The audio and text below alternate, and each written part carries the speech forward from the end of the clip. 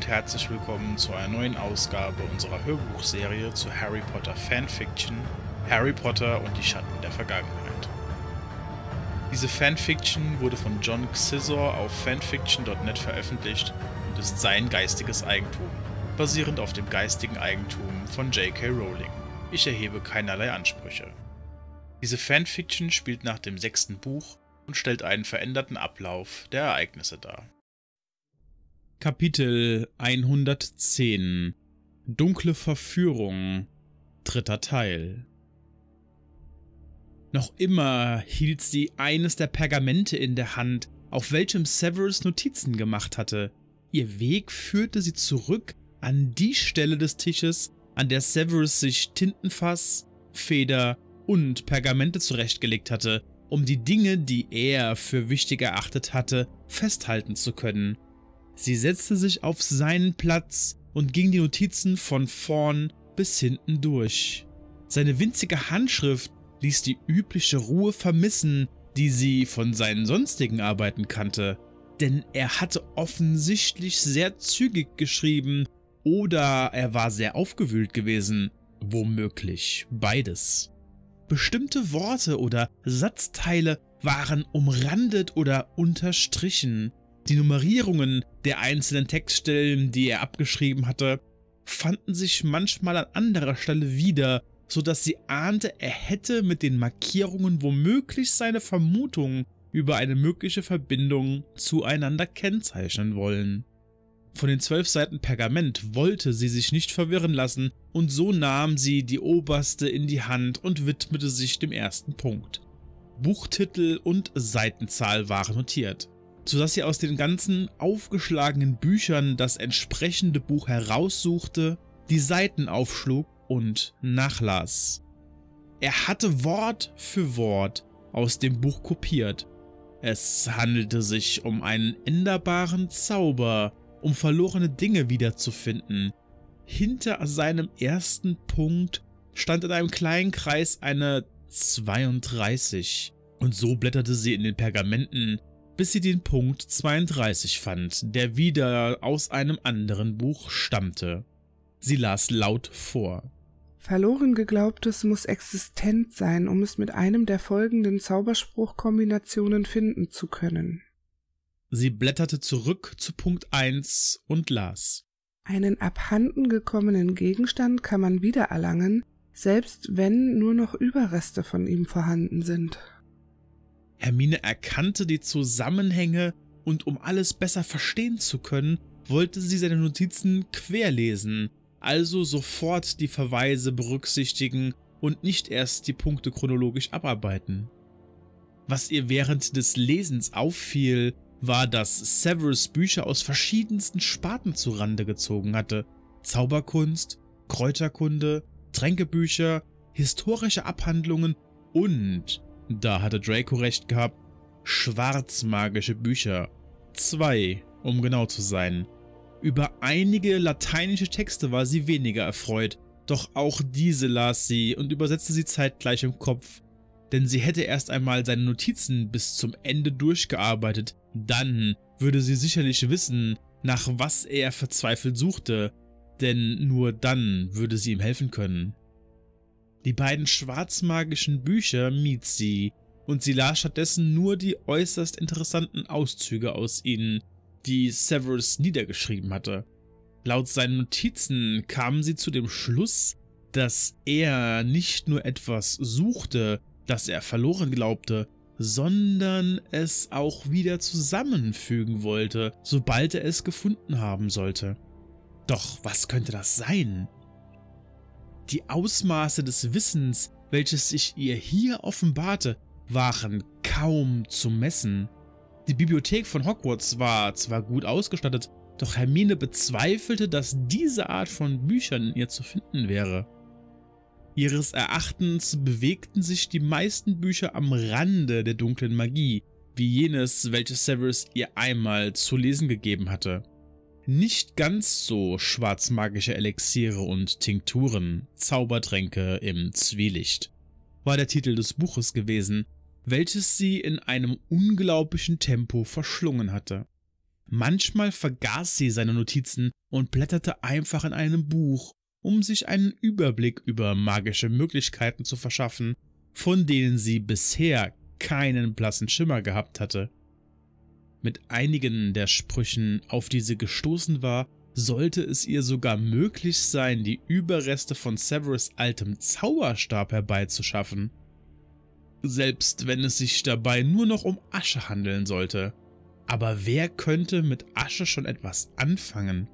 Buch für Buch nahm sie in die Hand, um Severus notierte Auszüge selbst nachzulesen und darüber hinaus noch etwas weiter zu blättern.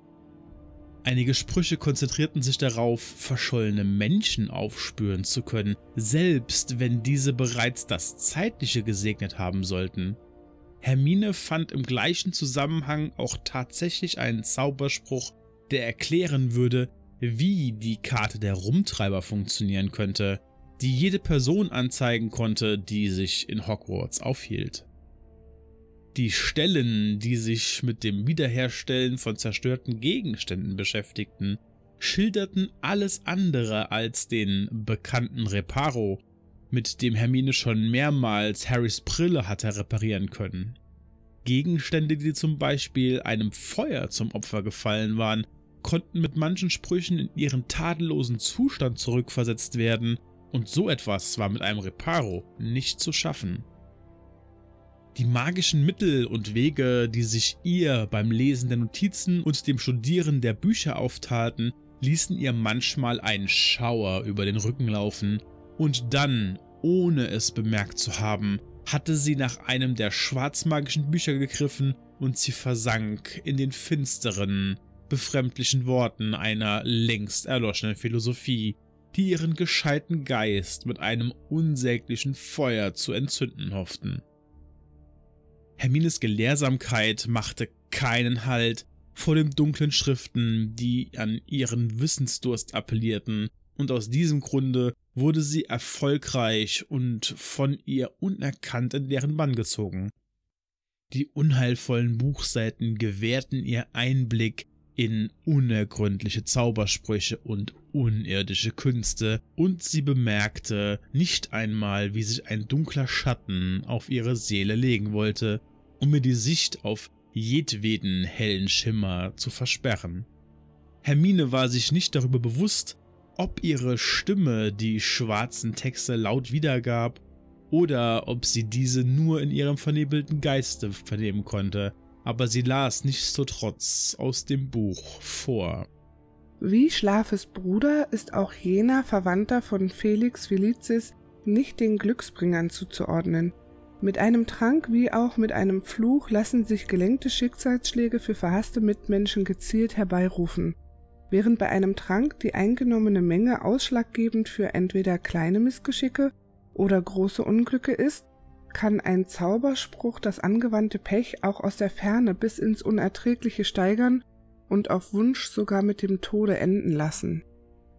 Von der Wirkung, die das Buch auf sie ausübte, war Hermine völlig ahnungslos, und so blätterte sie weiter und las noch einige der unseligen handschriftlichen Überlieferungen wahllos und verklärt vor. An unerwiderter Liebe muss man nicht vergehen. Der Amor Tinsia mag allgemein als stärkster Liebestrank gelten, doch er ist nur eine Erfrischung im Vergleich zum Kogamor, Kogere Amor, dessen Wirkung ein Leben lang anhalten wird. Unbemerkt von ihren Mitmenschen wird die auserwählte Person allein dem Hersteller des Trankes verfallen, und die Loyalität dem Brauer gegenüber wird nach einmaliger Einnahme so sehr gewachsen sein, dass die Person ihm auch bedingungslos in den Tod folgen wird. Das Geheimnis dieses Trankes ist nämlich seine Kombination mit dem unten aufgeführten Zauberspruch, der ähnlich wirkt wie eine gekonnte Mischung aus Legilimentik und dem Imperius. Liebe und Treue wird ihnen bis ans Ende ihres Lebens gewiss sein.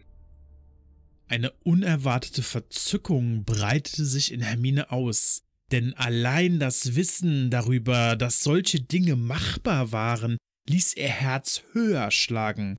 Hinweg waren all ihre rechtschaffenen Gedanken und sogar die Furcht vor üblen Nebenwirkungen der abscheulichen Wege der dunklen Magie waren verflogen. Sie wollte nur noch lesen und lernen. Abarten der Magie erkunden und vielleicht sogar ihrer eigenen Seele. Plötzlich spürte Hermine eine Hand über ihrer Schulter, die sie fest am Umhang packte und vom Stuhl riss.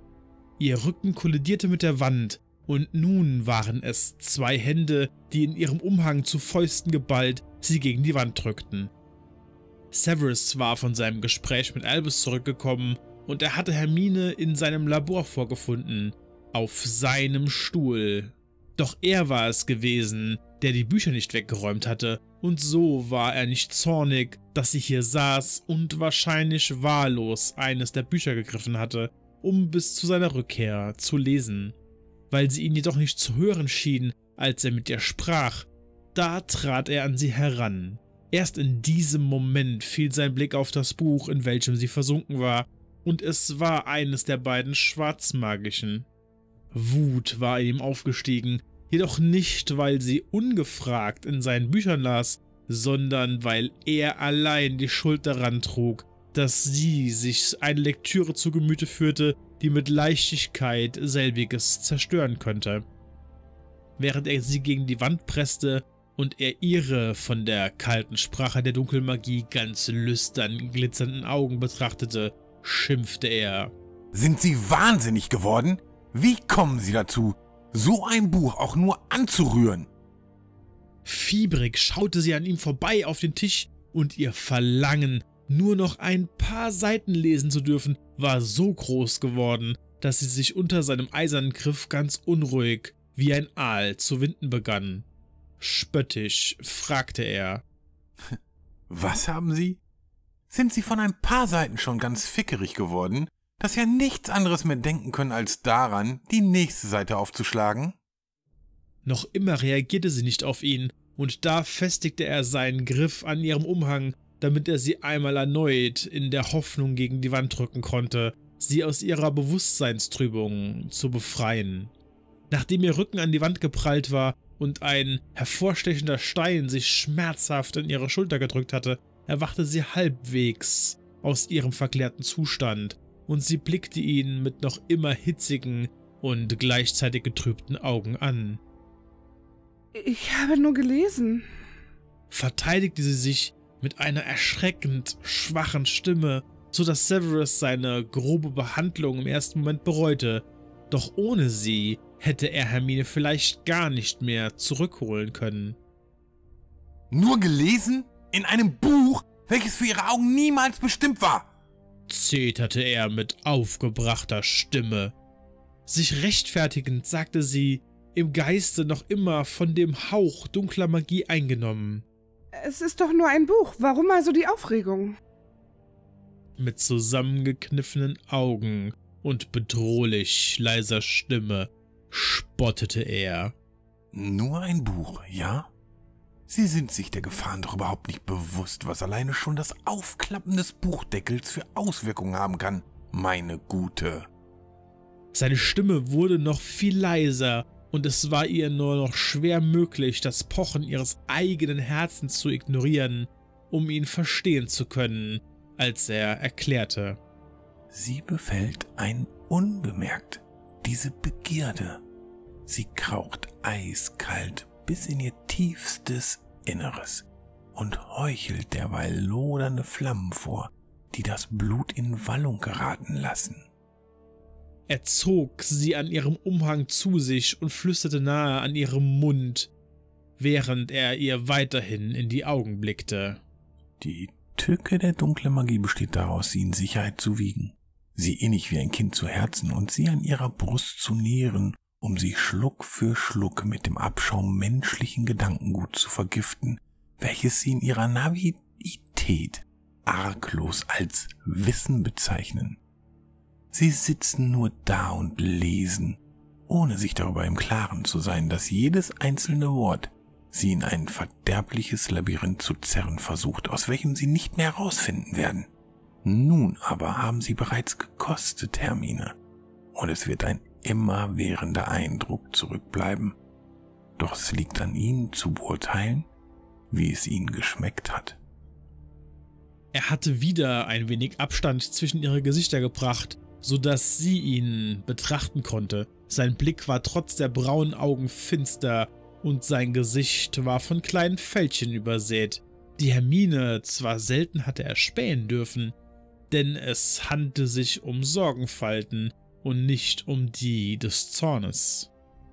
Seine Worte hatten ihre Überzeugungskraft nicht verfehlt, und in ihrem Herzen wusste sie, dass er mit alledem recht hatte, doch gegen den Drang, nur noch ein einziges Kapitel lesen zu wollen, hatte sie noch nicht ankommen können. Weiterhin hielt er sie am Umhang fest, als wollte er ihr Halt geben, und selbst als sie seine Fäuste mit ihren zittrigen Händen berührte, ließ er nicht von ihr ab. Sie schluckte und versicherte mit fester Stimme. Ich weiß, wie weit ich gehen kann und dass ich es nicht auf die leichte Schulter. Er unterbrach und zischte bedrohlich leise. Nichts wissen Sie.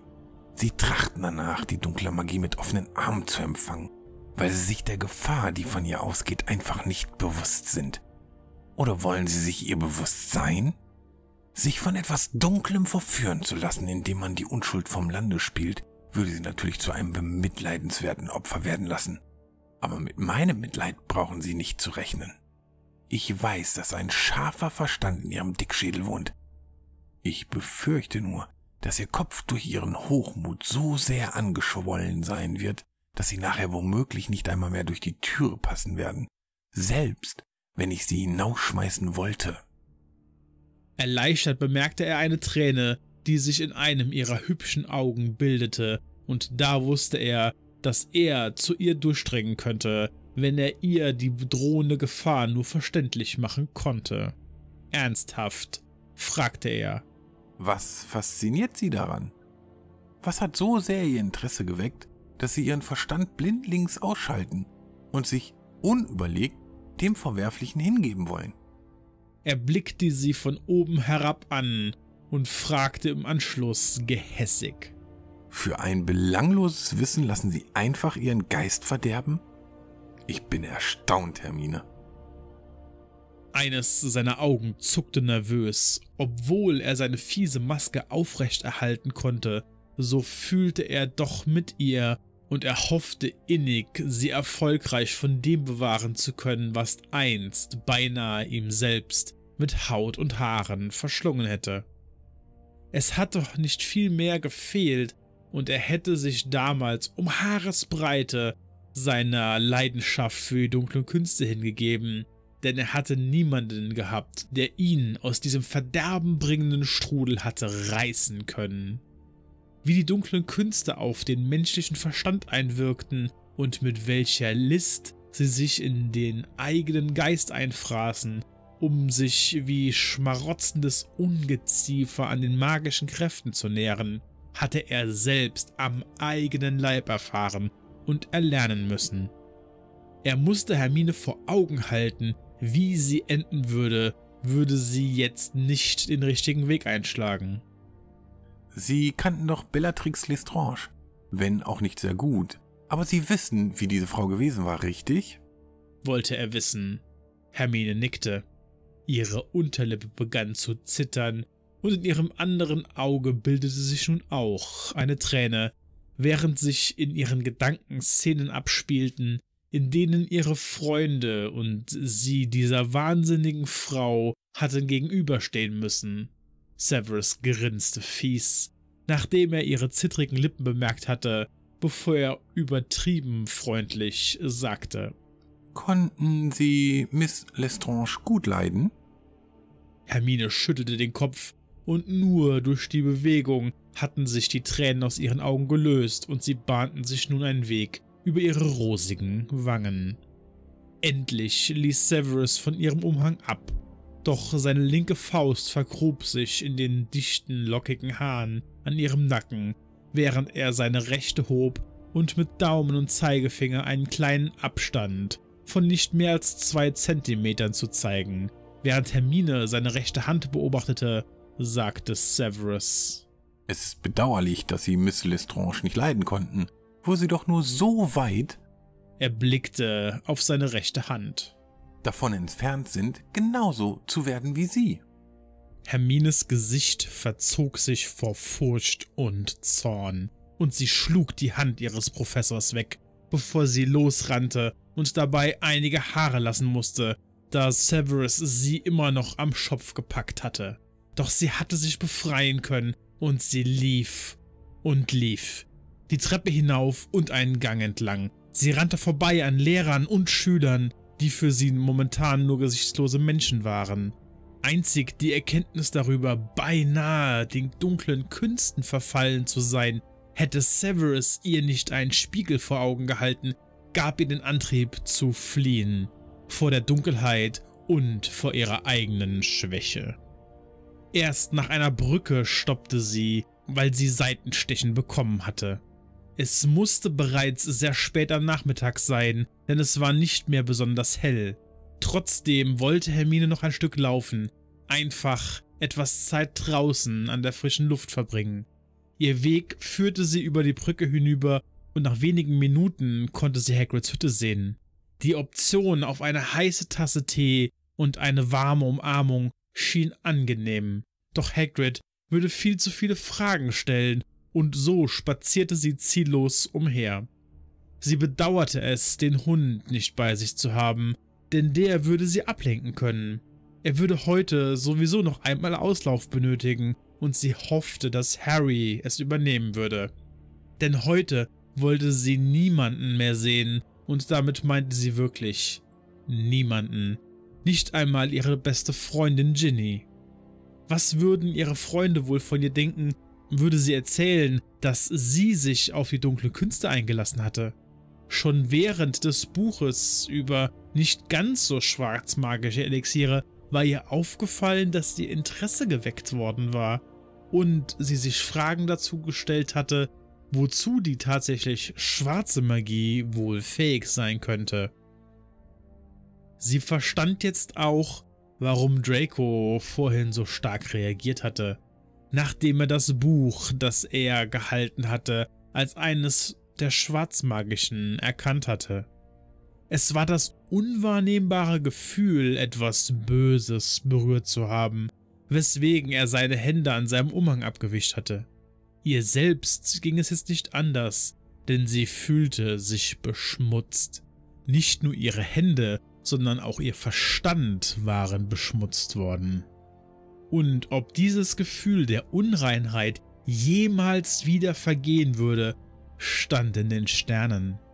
Severus hatte vorhin gesagt, dass ein immerwährender Eindruck zurückbleiben würde, und wahrscheinlich meinte er genau dieses Gefühl der Verunreinigung des Geistes. Sie war in den verbotenen Wald hineingegangen, doch nicht sehr weit, und sie setzte sich an einen Baum, um einen Moment nachdenken zu können. Nachdem Hermine sein Labor verlassen hatte, hatte Severus sich gleich auf den Weg zu Harry gemacht, und er war ohne zu klopfen bei seinem Kollegen eingetreten, nur um gleich darauf peinlich berührt eine Entschuldigung hervorzukrächzen, bevor er sich wieder aus dem Wohnzimmer entfernen wollte, doch Harry hielt ihn auf. Schon gut, kommen Sie rein, Severus, sagte Harry, der sich gerade von der Couch und von Ginny erhob, die unter ihm auf der Couch lag. Es tut mir, ich dachte... Severus stottern zu erleben, war etwas Einzigartiges, weswegen Harry lächeln musste, bevor er sagte, ich schlage vor, dass wir in Zukunft wieder auf das Anklopfen zurückkommen sollten. Severus nickte beschämt, bevor er fragte. Wenn ich einen Moment mit Ihnen reden dürfte, Harry? Harry blickte zu Ginny, die noch immer auf der Couch lag und sich durch den plötzlichen Gast gestört zu fühlen schien. Er erhoffte sich von ihr eine wortlose Zustimmung, doch den Gefallen tat sie ihm nicht, denn sie sagte gelangweilt. Sofern mir kein Punkteabzug droht, kann er ruhig bleiben. Severus kniff den Mund zusammen, schluckte jedoch jeden bösartigen Kommentar hinunter, so dass er zu Harry sagte.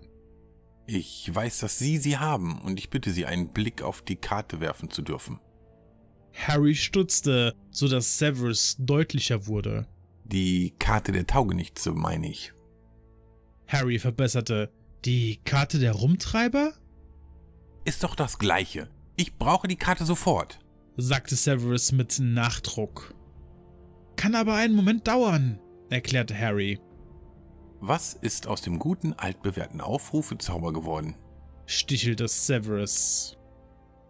Aufrufezauber funktionieren aber nicht, wenn der aufzurufende Gegenstand in einer verschlossenen Kiste liegt, sagte Harry langsam und lehrerhaft. Ich weiß nicht, in welcher Kiste die Karte ist, also bitte ich um ein wenig Geduld. Nachdem Harry ins Schlafzimmer verschwunden war, stand Severus im Wohnzimmer und es störte ihn nicht im geringsten, dass Harrys Verlobte ihn zu ignorieren versuchte. Während Harry seine Kisten nach der Karte des Rumtreibers durchsuchte, saß Hermine weiterhin an dem Baum und hoffte innig, dass sie nicht noch einmal von den dunklen Künsten verführt werden würde, denn sie bezweifelte das nächste Mal ungeschoren davonzukommen. Einen Vorgeschmack hatte sie bereits erhalten, und hätte Severus sie nicht mit Bellatrix Lestrange verglichen, dann wäre sie wohl jetzt schon verloren gewesen. Morgen würde sie Severus alles erklären wollen, ihm schildern, wie es überhaupt dazu gekommen war, dass ihr dieses Buch in die Hände gefallen war. Und sie wollte ihn natürlich auch fragen, nach was er suchen würde, denn während sie seine Notizen gelesen hatte, waren ihr natürlich einige Gedanken und Theorien durch den Kopf gegangen. Doch sie musste wissen, was es war, was er verloren hatte, damit sie in der richtigen Richtung weiterdenken konnte. Würde Severus sie jetzt überhaupt noch als Schülerin haben wollen?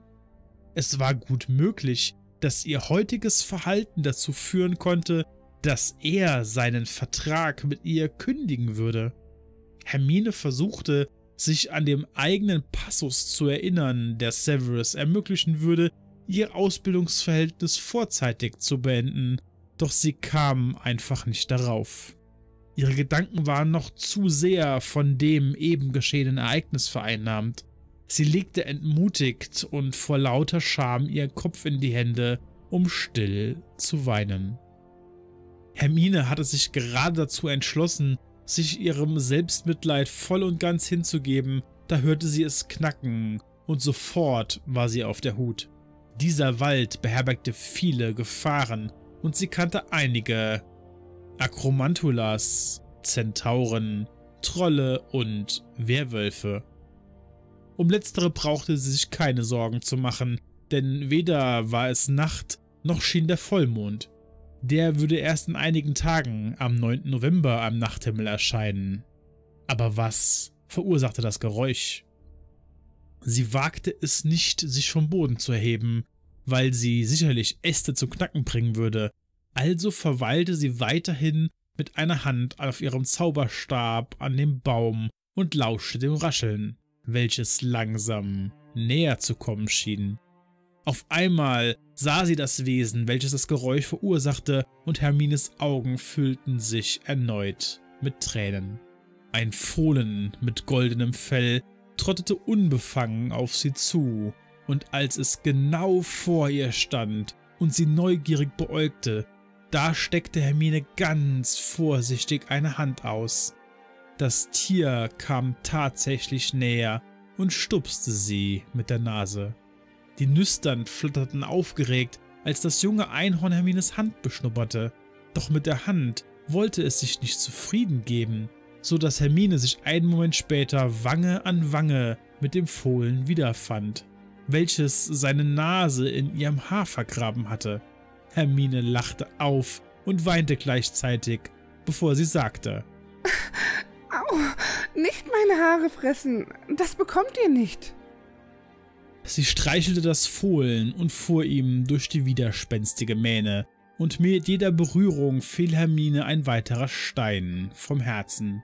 Denn das Gefühl der Unreinheit verging, und darüber hinaus war sie sich sicher, dass das junge Tier sich nicht von ihr berühren lassen würde, wären ihre Hände durch dunkle Magie besudelt. Das Fohlen steckte seinen kleinen Kopf neugierig in Hermines Umhang fand aber nichts Interessantes, so dass sie noch einmal aufblickte und sich am Kopf kraulen ließ. Danke, hauchte Hermine erleichtert. Sie war unendlich dankbar dafür, dass sie ihre Hände im goldenen Fell des jungen Einhorns wieder hatte reinwaschen können, auch wenn es sich womöglich nur um das Gefühl gehandelt hatte, schmutzig zu sein. Nachdem das Fohlen fröhlich umherhüpfend seinen gleichen Weg zurückging, verließ Hermine erleichtert und gestärkt den Wald, um sich doch ein wenig Trost von Harry zu holen und ihm von ihrer Schwäche zu berichten. Soweit zur heutigen Ausgabe unserer Hörbuchreihe zu Harry Potter Fanfiction Harry Potter und die Schatten der Vergangenheit. Vielen Dank fürs Zuhören. Wenn es euch gefallen hat, lasst uns bitte einen Daumen nach oben da und sehr gerne natürlich auch einen Kommentar, denn die Feedback Challenge ist immer noch on. Wenn ihr mögt, natürlich auch gerne ein Abo. Ciao, bis zum nächsten Mal.